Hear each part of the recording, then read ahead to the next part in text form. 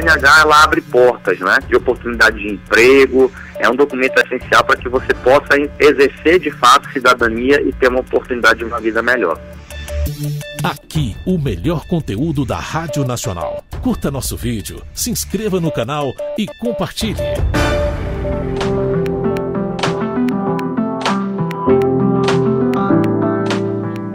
Eu sou Kátia Franco, apresentadora na Rádio Nacional do Alto Solimões. E no nosso podcast de hoje recebo o diretor-presidente do DETRAN, do Departamento Estadual de Trânsito do Amazonas, Rodrigo de Sá. E vamos abordar hoje o projeto CNH Social. Rodrigo de Sá esclareceu que esse projeto é destinado a pessoas de baixa renda e que, com a Carteira Nacional de Habilitação, a CNH, poderão ter vários benefícios, entre eles o de concorrer a vagas de concursos que precisam das categorias. Então, vamos juntos conferir nossa entrevista? Fala pra gente um pouco mais sobre o projeto CNH Social. Como que é? É, Kátia, na verdade o projeto CNH Social é um projeto que faz parte do programa Detran Cidadão, né? Detran Cidadão é um grande programa social idealizado pelo governador Wilson Lima, no bojo do qual nós temos três grandes projetos. O primeiro deles é o CNH Social, que é extremamente democrático, um projeto importantíssimo porque ele visa é, possibilitar pessoas de baixa renda obter a CNH gratuita. A gente sabe que o custo da CNH Brasil afora é elevado, não é uma realidade só do Amazonas, muito ao contrário, a gente tem estados aí no país que tem um custo que é mais que o dobro do que ocorre aqui no Amazonas. Aqui, categoria B, você tem em média aí o custo de R$ 1.600 a R$ 1.700 no processo inteiro. Isso não é um custo das taxas do Detran, é um custo de autoescola, né, de aulas teóricas, aulas práticas, somado às taxas. E de categoria A, que é a motocicleta, é um custo médio aí de mil reais.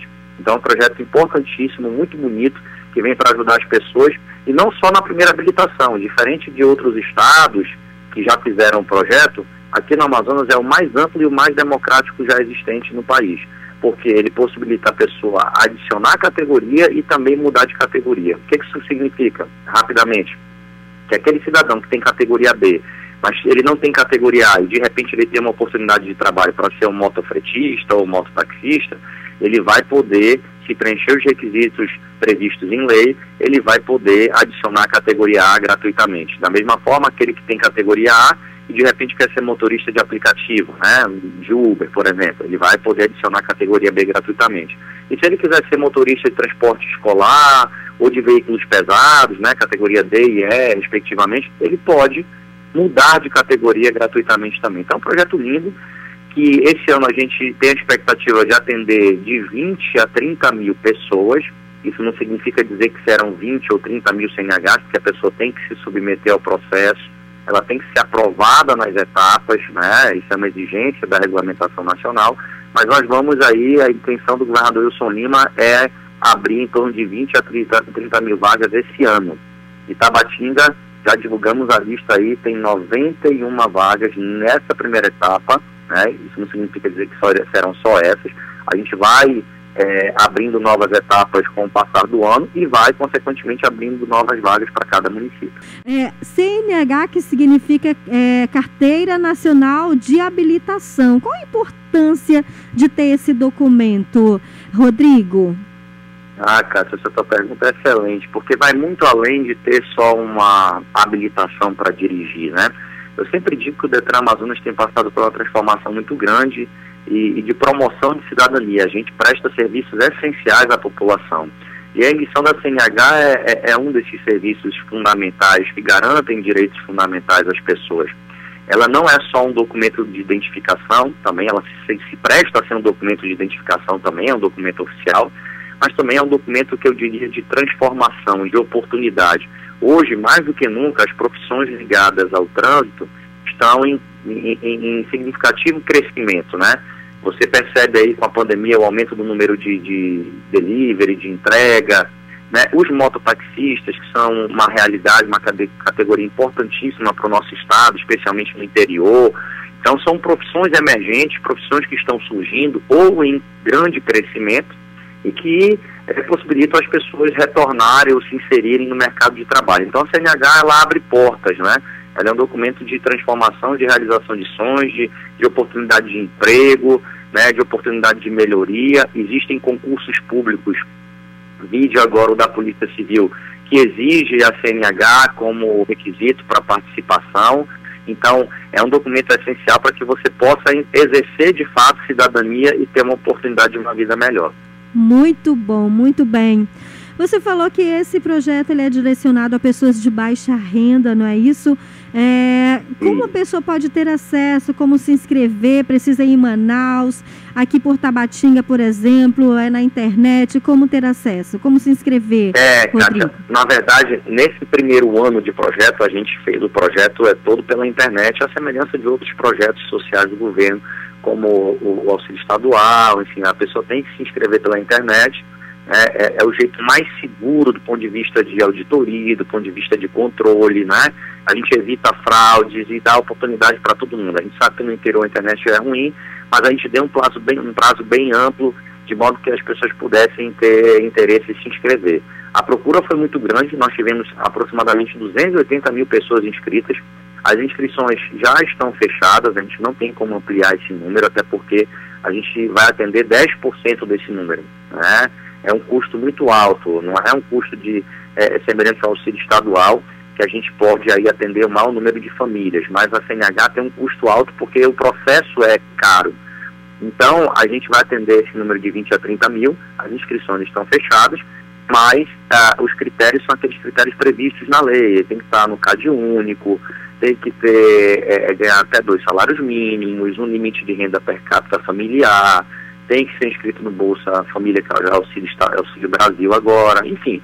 São requisitos que são semelhantes aos outros programas sociais do Estado e que se assemelham também aos programas sociais do governo federal. Sim. Então, o processo daqui para frente é, é, estanque, já terminamos as, os período, o período de inscrições e agora a gente vai partir para o sorteio dos contemplados a cada etapa anunciada. Como eu falei, nesse primeiro momento, já foi feita a entrega da documentação, o calendário estava para Tabatinga, era de 26 a 28. Os 91 contemplados já compareceram, se não compareceram, nossa equipe vai entrar em contato para que eles compareçam ainda, e aí nas próximas etapas a gente vai divulgar mais vagas. Agora, tem um projeto importante também, Cátia, se me permite falar, que é a motociclista legal. Esse projeto também está ocorrendo em, em Tabatinga, a gente está treinando os mototaxistas, capacitando gratuitamente, o governador Wilson Lima determinou a isenção no pagamento das taxas para esses cursos de capacitação que são obrigatórios. E à medida que o mototaxista faz a capacitação, ele passa a ter direito a receber o, o EPI, né, o kit de capacete e colete, e também ele tem a abertura de uma linha de crédito em parceria com a FEAN no valor de 5 mil reais. É um projeto que também já está em Tabatinga, na região do Alto Solimões. Agora, é, existem, como você disse no início, algumas fases, né? Nessa primeira fase, a inscrição, aí vem o sorteio, a pessoa é sorteada. Tudo isso é feito nesses municípios, ou aqui de Tabatinga, essas 91 pessoas, vai precisar ir até Manaus? Não, não, Kátia. Graças a Deus a gente, a gente planejou muito bem isso. Era um projeto que era um sonho nosso, né, implementar o programa Detran Cidadão, o governador sempre também é, nos apoiou e queria colocar, mas a pandemia fez com que a gente represasse muitos projetos, né, focasse em outras prioridades, mas tão logo foi possível, ele imediatamente me determinou que a gente lançasse, e, e, é um projeto que visa atender o cidadão do interior e dar comodidade ao cidadão do interior. A gente não, o cidadão não vai precisar vir a Manaus, nós fizemos todo um planejamento para credenciar clínicas e autoescolas para que essas pudessem atender nos municípios, ou seja, a gente prioriza as clínicas e autoescolas que já estão em funcionamento nos municípios. Se elas não puderem atender, ou por falta de documentação precisa para se credenciar, ou por algum outro motivo, a gente coloca uma outra clínica ou uma outra autoescola de um município próximo para atender, de modo que a gente consiga atender a todos os munícipes no seu próprio local de moradia. Não vai precisar se deslocar, nada disso. Talvez, né, em algum momento, por conta da logística, você sabe tanto quanto eu que o nosso estado tem dimensões continentais, a logística é difícil, talvez a gente precise, de repente, um município um pouquinho mais distante, chegar até o município polo. Mas isso, no momento, ainda não está acontecendo, né, ainda não precisa. Mas, de repente, aí, próximo a Tabatinga, Benjamin Constant dá um pulinho aí, né, é, outro município também dá um pulinho aí, mas no geral, a, a, a rigor e em regra, todos os municípios terão atendimento no próprio local, no próprio município. Eu quero então aqui agradecer você, Rodrigo, pela aqui a conversa, né, esse bate-papo legal. Rodrigo de Sai, diretor-presidente do Departamento Estadual de Trânsito Detran Amazonas. Muito obrigada. Alguma outra informação, fica aqui, né, o espaço disponível para você, Rodrigo. Oh, Kátia, eu que agradeço a oportunidade de falar com todos vocês. Muito obrigado pelo espaço. É importante a gente esclarecer isso. A gente sabe que a a, audiência de vocês é enorme, a rádio é um, um, meio de comunicação extremamente efetivo no interior do estado. Quero mandar um abraço para todo mundo aí de Tabatinga, município que eu gosto muito, que eu tenho um carinho especial. Em breve estarei aí para a gente pra iniciar as tratativas da abertura do nosso polo. Município, esqueci de falar, é importante, Tabatinga é um dos municípios que terá um polo avançado de atendimento.